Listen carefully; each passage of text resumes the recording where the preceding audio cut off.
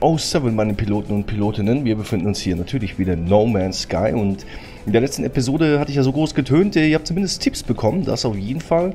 Aber wir kamen noch nicht dazu, äh, eine der lukrativen Einnahmequellen äh, weiter zu betrachten und zu verfolgen. Das habe ich jetzt äh, inzwischen schon gemacht.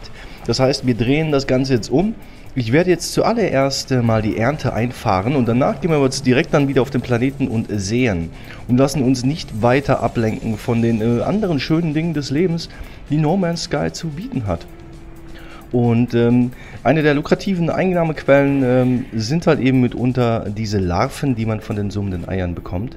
Und äh, ich habe da schon einige gefarmt, hatte auch eine Episode nochmal aufgenommen, die hat aber leider verhunzt, deswegen äh, zeige ich euch erst das Ergebnis und dann zeige ich euch, äh, wie ihr da relativ schnell Unmengen an Larvenkernen äh, farmen könnt, die pro Stück 95.000 Units geben.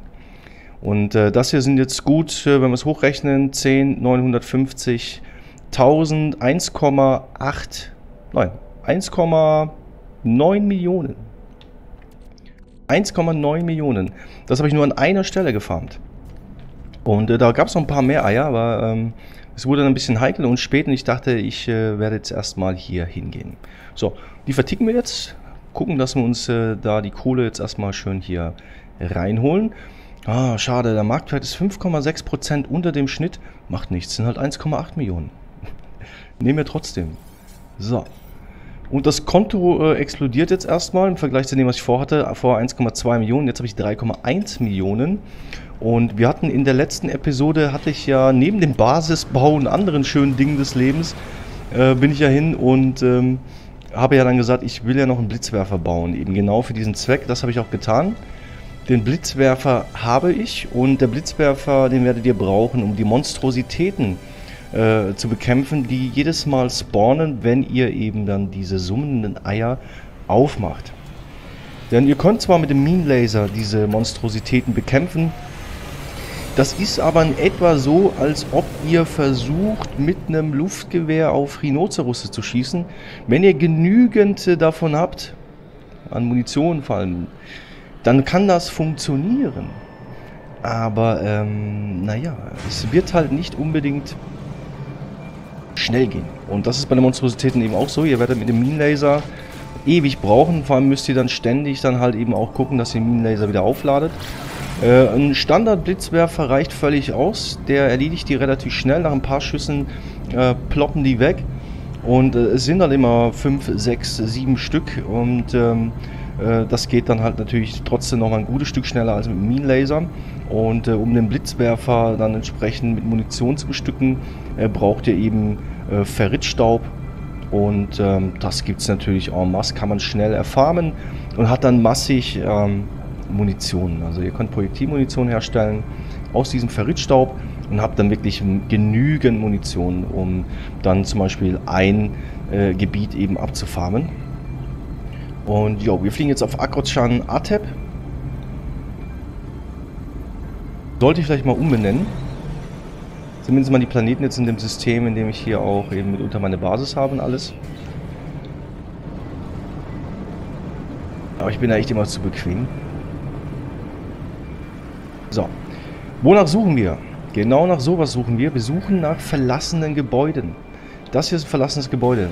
Und bei verlassenen Gebäuden findet ihr fast immer summende Eier. Und ähm, die gibt es dann da en masse. Die äh, sind um das Gebäude, äh, direkt um das Gebäude verstreut. Und äh, dann könnt ihr sie abfarmen. Das sind meistens wirklich sehr, sehr viele. Und äh, die 20 Eier, die ich jetzt da, beziehungsweise die 20 Larven, die ich jetzt da gelootet hatte, das war eben aus einer Session äh, um, um ein verlassenes Gebäude. Also das ist schon äh, sehr hilfreich. Plus, ähm, was ihr tun könnt, das zeige ich euch jetzt auch gleich, ähm, denn ihr werdet ein bisschen unter Druck geraten.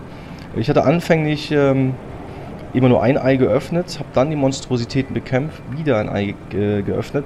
Das dauert natürlich.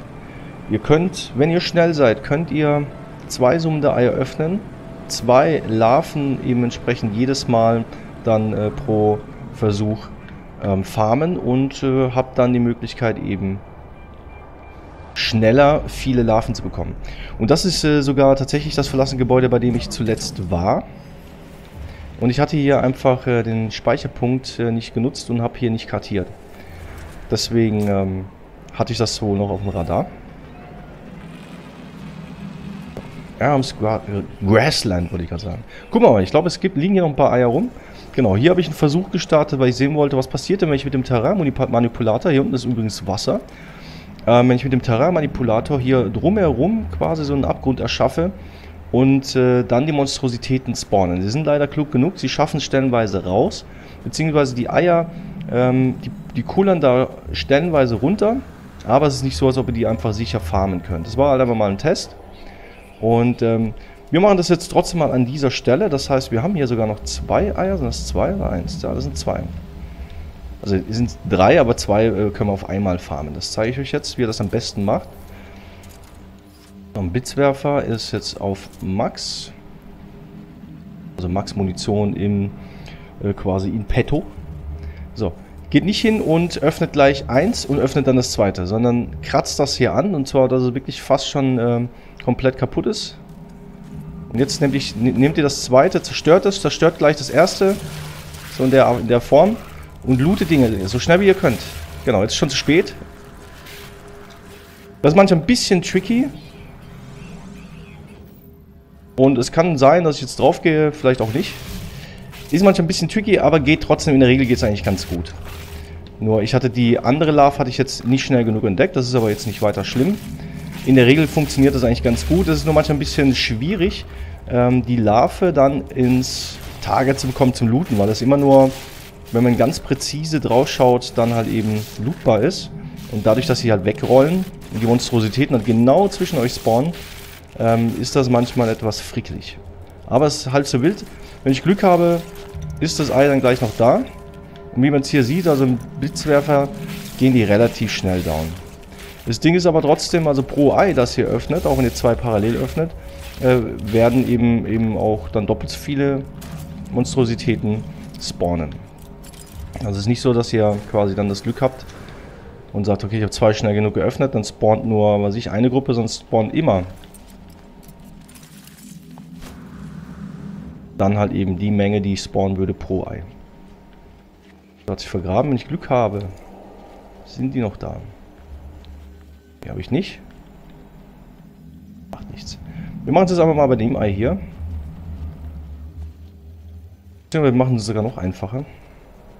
Wir nehmen schon die zwei, wenn wir Glück haben, kullern die da runter. Aber es ist ein guter Weg. Also hier war alles voll mit äh, diesen äh, summenden Eiern. Und äh, das war eben genau das, was wir am Anfang gesehen hatte, hatten, was ich da ähm, verkauft hatte. So, auf die Platte kann ich gar nicht. Ist auch gut. Wird zwar angezeigt, aber sie ist quasi non-existent. Okay, gucken wir mal, dass wir die da einfach runterpullern lassen, äh, runterkullern lassen. Runterpullern könnten wir auch. Wäre eigentlich auch nicht schlecht, wenn man irgendwie äh, strullern müsste. Ich meine, irgendwie muss er ja auch mal äh, sich erleichtern, aber gibt es nicht so viele Spiele, wo das unbedingt notwendig ist. Bei Duke Nukem konntet ihr das, war ein Gimmick. Aber äh, ja, das ist natürlich auch ewig her alles. Und jo, jetzt gucken wir mal, ob ich looten kann. Hier mal ein Larvenkern. Und ja, hier ist es tatsächlich mal gar nicht mal so schlecht, aber wir sehen jetzt, wir haben ein Problem. Ändert aber nichts. Also das war eben in dieser einen Episode, in der unveröffentlichten Episode war das mein Problem.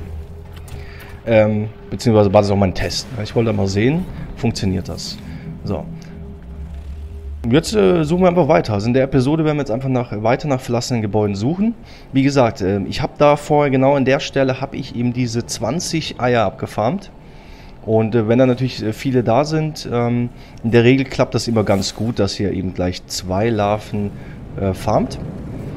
Und äh, ja, wenn ihr aber mit viel Geduld gesegnet seid und ähm, äh, oder euch das auch vielleicht stellenweise ein bisschen zu äh, heikel ist, wenn die äh, Monstrositäten dann halt eben doppelt spawnen, weil ihr eben zwei summende Eier öffnet, dann macht ihr das halt einzeln. Geht auch. Und man hatte immer auch ein bisschen Zeit, also man kann sich ein bisschen treffen lassen. Bei zwei summenden Eiern ist es halt ein Stück gefährlicher, weil die halt natürlich äh, schon mal doppelt so viel Schaden äh, eingefahren bekommt, weil es immer gleich pro Gruppe der Monstrositäten jeweils ein Monster gibt, das euch dann direkt angreift. Und äh, das kann dann schon schnell äh, zu einem Tod führen. Also Bei einer Zweiergruppe ist es so, wenn die das zweite Mal äh, euch angreifen, also zwei Stück euch zweimal angreifen, seid ihr eigentlich schon erledigt. Zumindest in meinem aktuellen Exo-Anzugzustand. so, das Ding wird mir gar nicht angezeigt. Das ist aber ist ein, ist ein verlassenes Gebäude. Das ist auch etwas, was äh, komisch ist. Das, das habe ich selten, aber es kommt schon mal vor, dass ähm, so ein Gebäude gar nicht angezeigt wird, obwohl es da ist. So, die Markierung nehme ich jetzt mal weg. Aber hier haben wir jetzt auch wieder Eier en masse. Und äh, verlassene Gebäude gibt es halt wirklich viele. Also, würde mal gerne die Markierung wegnehmen.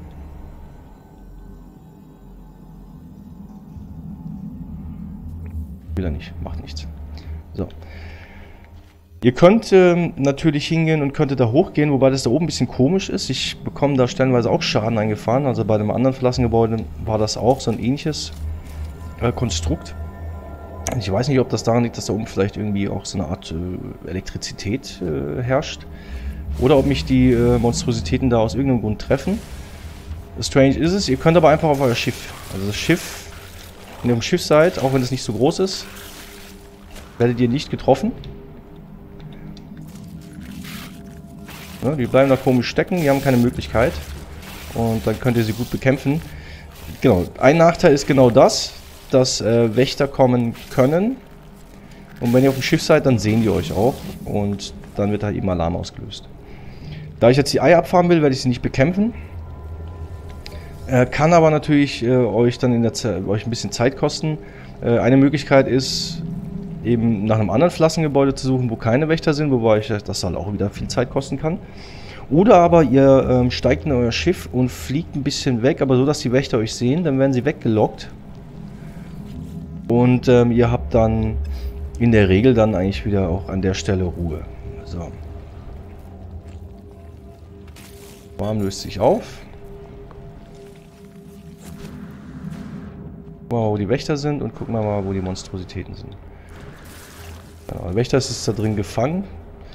Wenn es gut läuft, kriegt er nicht mit, dass wir hier die Dinger wegballern. Okay, verschwunden sind sie. Kann aber sein, dass sie wieder spawnen. Das, machen sie manchmal gerne. Machen einer auf äh, Raketenwürmer und kommen dann doch wieder.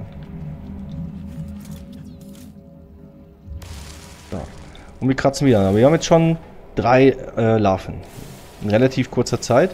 Und wenn es halt richtig gut läuft und keine Wächter da sind, ähm, dann habt ihr sehr schnell sehr viele Larven. Also wenn ihr sagt, okay, ihr habt jetzt nur eine halbe Stunde Zeit zu spielen oder zumindest eine halbe, doch sagen wir mal eine halbe Stunde Zeit zu spielen, äh, sucht euch schnell ein verlassenes Gebäude, lasst, lasst, lasst mal 10 Minuten vergehen, reicht trotzdem noch, in 20 Minuten macht ihr trotzdem noch, also schafft ihr mindestens, ich meine, ich gucke jetzt mal auf die Episode, wir haben 13 Minuten äh, läuft die Episode jetzt aktuell schon. Wir haben vieles davor gemacht, also wir haben jetzt in mit Widrigkeiten haben wir in 8 Minuten circa äh, schon mal drei Larven gesammelt. Ähm, normalerweise läuft das ja doch ein bisschen glatter ab, so wie wir es jetzt auch gerade eben sehen. Das heißt, man kann nicht sagen, in 10 Minuten kriegt man, würde ich sagen, so zwischen 6 bis 10 Eier. Das heißt fast eine Million in 10 Minuten. Also, und das finde ich schon sehr lukrativ. Äh, jemand hat im Kommentar, in einem der Kommentare zu Norman Sky zum Beispiel auch äh, eine Möglichkeit des Einkommens, also wie man sich Kohle verschaffen kann, genannt, äh, dass man halt eben äh, bei den Frachtern, dass man die halt äh, eben äh, ausraubt. Aber hat halt natürlich den Nachteil, dass ihr im, im Ansehen sinkt. der, je nachdem, wem der Frachter gehört, welcher Alienrasse. Ist jetzt nicht so mein Fall, weil ich will, äh, will ja mein Ansehen, ich will ein gutes Ansehen bei allen Alienrassen haben. Aber es ist auch eine Möglichkeit. Aber ich weiß nicht, ob das so lukrativ ist, wie jetzt zum Beispiel eben die Larvenkerne. Auch wenn das mit den Larvenkernen natürlich halt gefährlich ist.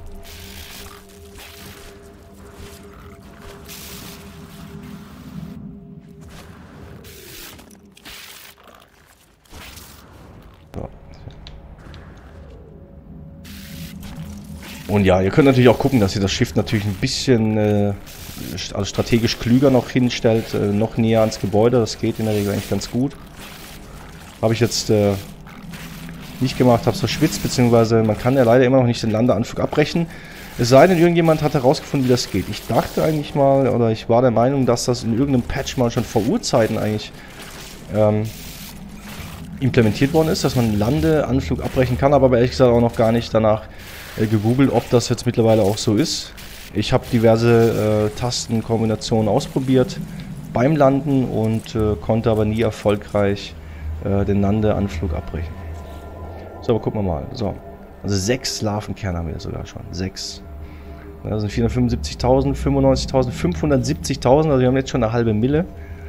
Spiel seit 15 Minuten und ähm, musste ja erst noch rumcruisen, auf den Planeten fliegen und wir hatten Probleme. Also ich finde das schon eine, eine gute äh, Einkommensmöglichkeit, um da einfach wirklich schnell an Kohle zu kommen.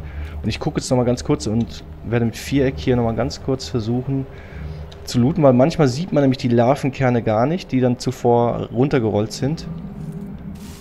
Und dann, äh, ja, kann man sie aber trotzdem noch looten. Ah, das habe ich nicht geöffnet, leider. Macht nichts. Genau, und ja, das werde ich machen. Also das Coole ist halt, ihr könnt halt ja natürlich auch, ihr müsst nicht gleich ein verlassenes Gebäude komplett abfarmen. Also wenn jetzt irgendwie sagt, ich habe jetzt nicht allzu viel Zeit, will das ein bisschen farmen, dann könnt ihr ein bisschen äh, Larvenkerne farmen.